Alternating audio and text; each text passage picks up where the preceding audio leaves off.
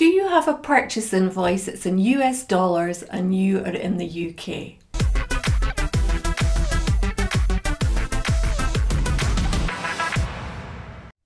How do you deal with that in your Xero account? Now, we know that you can upgrade and you can include multi-currency, but what if it's very rare that you have these invoices and you don't want to upgrade at this stage?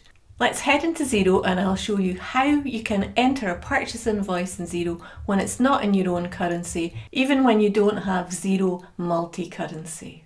We're on our Xero dashboard and we're going to go to the Files section because we know that we have a purchase invoice sitting here that we need to enter. I'm going to select the purchase invoice and I'm going to choose Add to New Bill. So the bill is on the left of our screen. So the main thing we can see is that this bill is in US dollars. So we want to input the information in Xero. The date of the transaction was the 1st of November 2020 and the due date is 30 days later. I'm on a demo company and the demo company has multi-currency which is why there is this box here. But what we're talking about is when you don't have multi-currency. So let's just assume that this option does not exist. So we fill in our description, we get to the quantity, that's fine, we know that. Now we get to the unit price. Now the unit price is $5. Clearly, we're not inputting figures in dollars, we're inputting figures in British pounds. So what we need to do, first of all, is we need to convert this invoice. XE.com is a good place to go. That's where the Xero exchange rate figures come from if you were using multi-currency. So I'm going to go online. I'm going to go to XE.com. I've chosen, this is important, the date of my invoice. So it's the 1st of November 2020. And for US dollars, the exchange rate to GBP is 0. and I'm going to say 773. So I know that an invoice for $1,000 is equivalent to £773. So I'm back into Xero. And now what I want to know is the unit price. My full invoice is going to be 773. So I'm going to do a sneaky thing because Xero has its own calculator. I'm going to do 773 and I'm going to divide it by 200. And Xero's calculated there the unit price in pounds, not in dollars. Let's go into my cost of goods sold.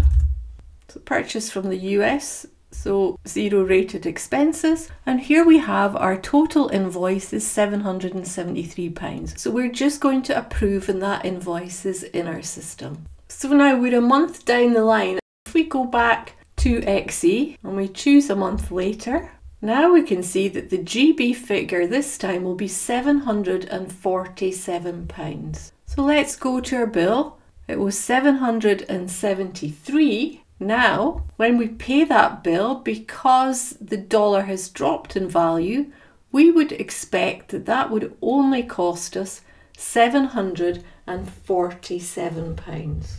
So on the 1st of December, you make a payment to Dallas Decor. You make it based on the exchange rate at that time and it costs you £747. Now it might be that you have bank charges on top of that. So let's say you've got £15 in bank charges because you're making a payment to a foreign bank. So when we go to our bank and we go to our bank reconciliation, here is the payment to Dallas Decor. Now the first thing I'm going to do is just to get my head around what's happened. So I'm going to type a note in here. So first of all, we know that the invoice was £773. We also know that there were bank charges of £15 and then we also know that the exchange difference, and it's again because US dollar has devalued, the invoice was 773 at the new exchange rate it's only 747 so that is 26 pound of exchange gain. So I'm going to save that and that is just my mental note. So what am I going to do now? I'm going to add these transactions. So I'm going to spend money and I'm going to input the bank charges amount. So I'm going to say Dallas Decor. We need to choose the date, which was the 1st of December. I'm going to say it's 1. At £15, I'm going to pick up the bank charges code bank fees, which is 404. And then I'm going to save that transaction. I'm also going to add another transaction, but this time we know it's a receive money because we've gained on the exchange rate. Again, it's the date of the payment, 1st of December, and I need a reminder that it's £26 and I need to have set up already an exchange code. So if you don't have that, you go to your chart of accounts and you would set it up. Happy with that transaction, I'm now going to save it.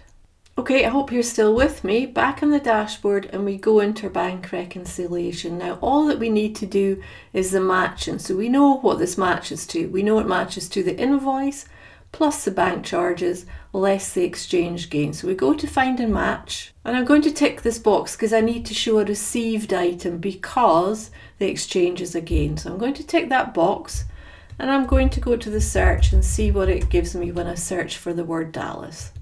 So I'm picking up the invoice, which was the 1st of November, and then I'm picking up the two further transactions on the payment date, which is the bank fees on the 1st of December of £15 and the exchange of 26 It goes green once we've done that. If we unticked one, so we don't have the exchange dealt with, and we scroll down and we can see that the total is out by £26. Select the exchange difference and now we can go to OK. It's a bit convoluted, but that is how you would deal with a non-GBP purchase invoice when you don't have multi-currency. So if I recap what we did there, we had a purchase invoice and the purchase invoice was in US dollars. We went to xe.com and we got the exchange rate and we input it in sterling at the exchange rate based on the date of the invoice, i.e., the 1st of November. Then nothing happened until a month later, the 1st of December. All that you're doing is going to your bank and saying, Can you pay Dallas Decor on our behalf. Now we've added a little complication here, but this is real life.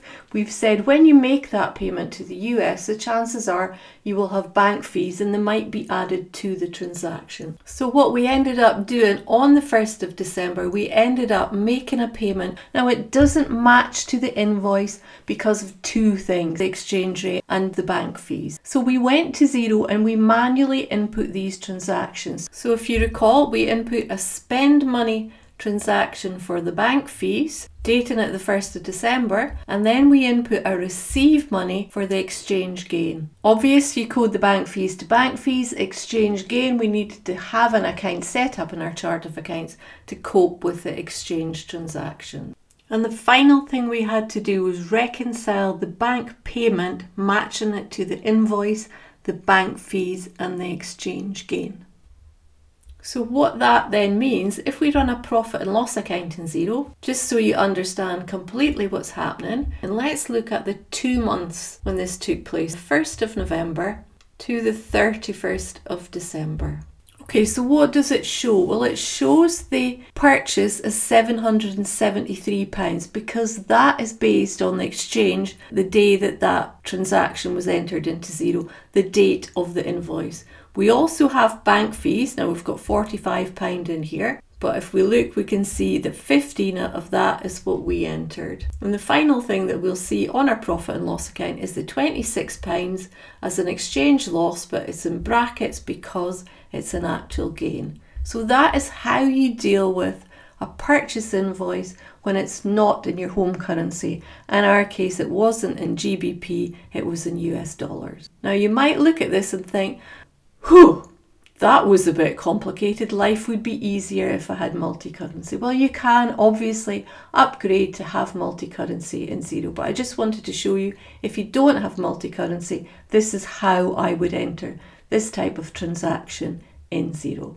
You end up with the same result. You end up with your cost at the exchange rate at the date that it, of your invoice and any exchange based on when you make payment. I hope you find the video useful. I hope it's maybe explained some things that you weren't sure about before. If you did like the video, a thumbs up would be great. If you've got any questions, any comments, please add them below and I'll do my best to respond. If you know MD that would benefit from this video, then please share it.